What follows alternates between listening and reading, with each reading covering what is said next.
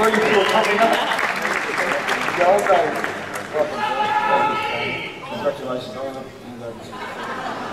Well, this is the Lifetime Achievement Award. And uh, at the Arnold's Classic in Columbus, Ohio, we do this every year. We give someone that deserves this award, uh, this award, which is someone that is basically promoting the sport of bodybuilding. And of course, in Australia, I cannot think of anyone that has done more for bodybuilding than Paul Graham. And of course, his wife, Carol Graham, is sitting out there somewhere because I know that we always have partners that are you know, doing the equal amount of work. Especially in your relationship, I mean, it's like unbelievable what a great partner she has been. So anyway, but this is what goes to Paul. I've known Paul for 47 years. And for, since 47 years, Paul has been, you know, an alligator wrestler.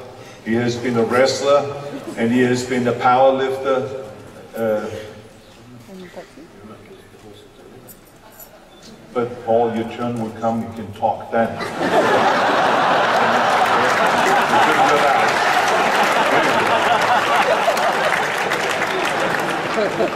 but in any case, to continue on, and he has been a bodybuilder, the powerlifter, the weightlifter, but he was always the kind of a guy that never just trained for himself. He always was into uh, we. How do we improve the sport of bodybuilding? What can we do to popularize the sport? And so he has done this in Australia here literally for the last 47 years, ever since I've known him.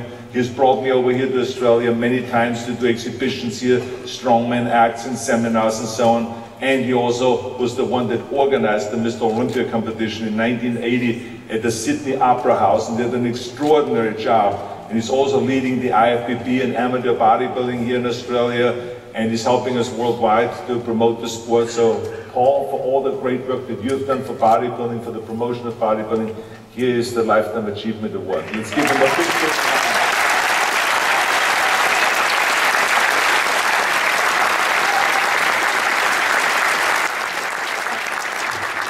Arnold, thank you so much. Yes, as Arnold said, 47 years we went, we met in a little gym in uh, Studio City, Vince, Vince Gironda's gym, and since then he walked in, I was from Australia, he was from Austrian.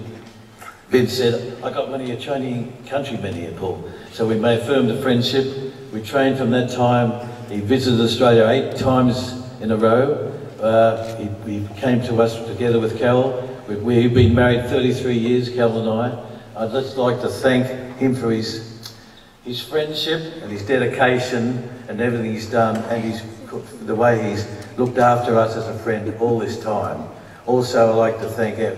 Here today, we've got six members of our Executive Council from the IFBB, headed up from Raphael. That's how much we think of Tony and this event here, the Arnold Classic. They came all the way to Australia to be here with us. Many thanks to them. So thank you, Arnold.